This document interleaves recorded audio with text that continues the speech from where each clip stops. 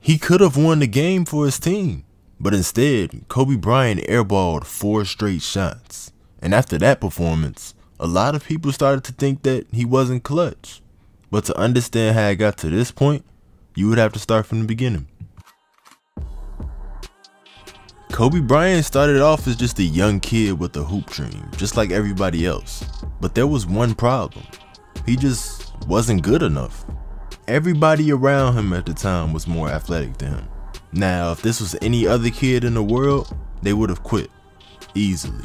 I mean, just getting beat up on every day could really destroy all of your confidence. But Kobe used this to his advantage. He was getting exposed every time he played against these better players. And they really were just exposing the areas in his game that he needed to work on. And although he wasn't able to beat them during that moment, as time went along, he became better than those guys. And by the time he got to high school, he was just on a different level. He averaged 31 points, 12 rebounds, and 7 assists a game. He was just unguardable, to the point that every college coach in the country wanted him on their team. But Kobe had different plans. He respected the college scene because he was a scholar all throughout high school. But basketball was his dream. He felt that he could always go back to college, but the time to prove himself in the NBA was now. So he made the decision. He was drafted into the NBA right out of high school. He felt like the sky was the limit for him now. But unfortunately for Kobe, nothing was going as planned. Even though Kobe had a lot of potential, he rode the bench for majority of his rookie year. But it wasn't like he wasn't good enough. It was just that his coach at the time believed that the older players should get most of the minutes. He was one of those real old school coaches, so the young guys had to wait their turn. This decision was tough on Kobe at the time. All of his friends that were in the same draft class as him was getting like 30 to 40 minutes a night, but he was barely getting any playing time. It made him question was going to the league right out of high school a mistake. Now around the same time he was questioning himself, something happened that changed his career almost overnight. Even though Kobe wasn't playing a lot, the Lakers were still good enough to make it to the playoffs. And it was during this time where Kobe really got the chance to prove himself.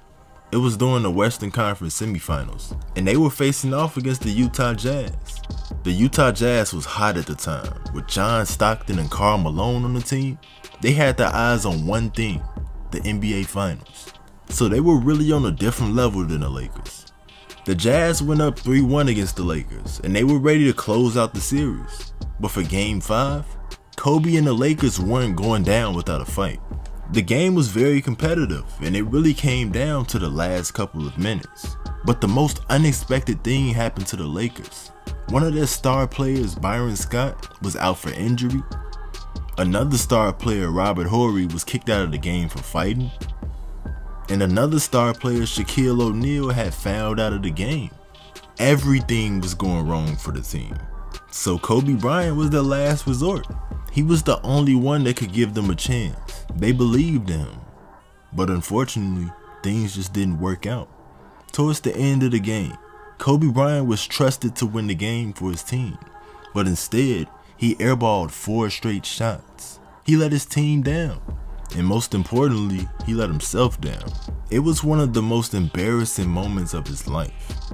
Being an 18 year old kid, he now had the whole world talking bad about him and it really started to mess with his confidence. This one moment almost destroyed his career. But instead of moping around and feeling sorry for himself, he immediately got back to work. Right after the game, the Lakers caught their flight back to LA. Their season was over, so everybody was ready to get back home and relax. Probably watch some movies with their families and just chill after a long stressful season. But Kobe Bryant had other things in mind. They arrived at the airport close to midnight, and Kobe immediately went to the gym. He went to a local high school and convinced one of the janitors to let him in. And after he got in, he just worked on his jumper all night. Those airballs really exposed his weaknesses.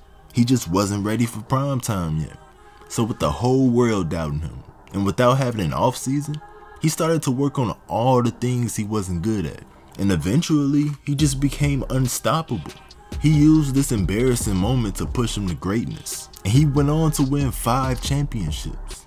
Now, instead of worrying about those airballs, we focus on how much of a legend he is. Peace.